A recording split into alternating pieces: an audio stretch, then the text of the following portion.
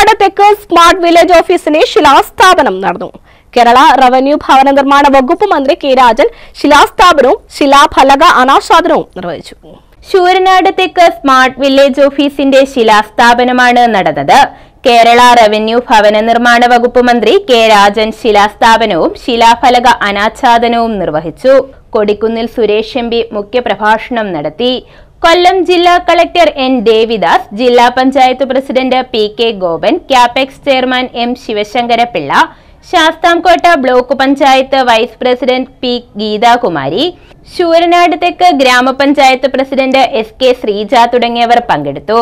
News bureau Sasthamkotta.